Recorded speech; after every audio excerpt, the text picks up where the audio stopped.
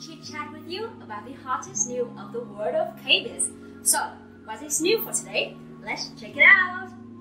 Bi Rain and Kim Tae-hee are a Korean golden couple in the entertainment industry who have been together for nearly 10 years in the spotlight. Yet, just recently had Bi Rain shared the exact moment he realized he was in love with Kim Tae-hee. Bi Rain and No Hong Chul drove along with Lee Hyo-ri and Lee Sang-soon on the show The Hungry and the Hairy. The sexy queen recalls the time when she had to wear socks for Lee Sang-soon because he had broken his arm.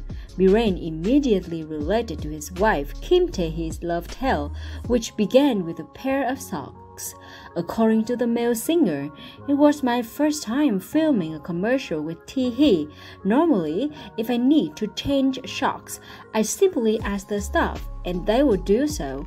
Tae-hee, on the other hand, changed her own socks on her own without inconveniencing the worker. She really is that person, I thought at the time. And soon after, I asked her out five times and she declined each time. Rain's story about meeting Kim Tae-hee for the first time piqued people's interest.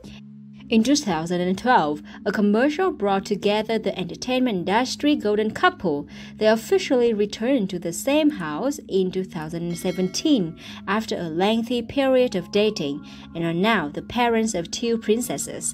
And recently, the couple excited fans by revealing their romantic relationship images.